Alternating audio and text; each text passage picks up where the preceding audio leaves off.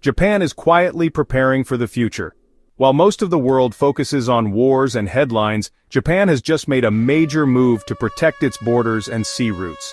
They've ordered 62 advanced surface surveillance radars. Yes, 62. But why so many? What do they do? And what does this tell us about Japan's military strategy?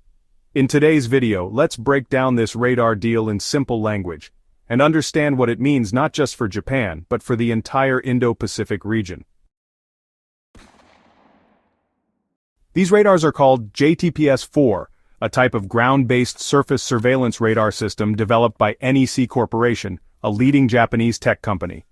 Now you may wonder, what exactly is a surface surveillance radar? In simple terms, this radar helps the military keep an eye on the ground and sea by constantly scanning and detecting any moving objects, whether it's a ship, a low-flying aircraft, or even vehicles. The JTPS-4 uses AESA technology, that stands for Active Electronically Scanned Array. This is the same tech used in some of the world's most advanced fighter jets. It allows the radar to track multiple targets simultaneously and cover a large area without needing to rotate physically. It's fast, precise, and nearly impossible to jam. So, where is Japan planning to use these radars? Since 2015 Japan has been gradually deploying these systems at its Japan Air Self-Defense Force, or JSDF bases. So far, six radar stations have been completed.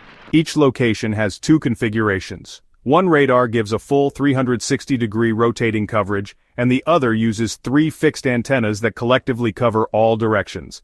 Now Japan is adding 62 more units, which will likely be spread across key strategic points across the country, especially near disputed or sensitive areas like the East China Sea and the southwestern islands close to Taiwan. This shows Japan is preparing for surveillance in both peacetime and crisis scenarios. But why is Japan doing this now? There's one word, China. Over the past few years, Chinese naval and air activity has increased significantly in the East China Sea and Pacific. There have been multiple cases of Chinese ships entering Japanese waters, and even military aircraft flying close to Japanese airspace. Japan knows that it needs to be ready, not just with weapons, but with better awareness.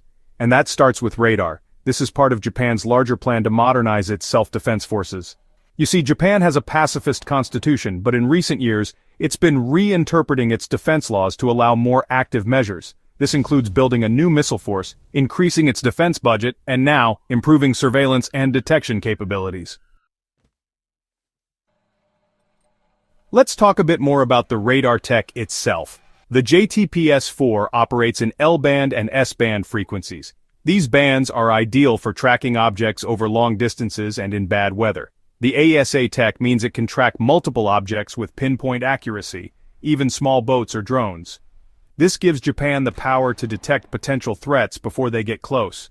And because the system is modular and ground-based, it can be placed in remote areas, on islands, or even moved as needed. This flexibility is a huge advantage. So what does this mean for the region?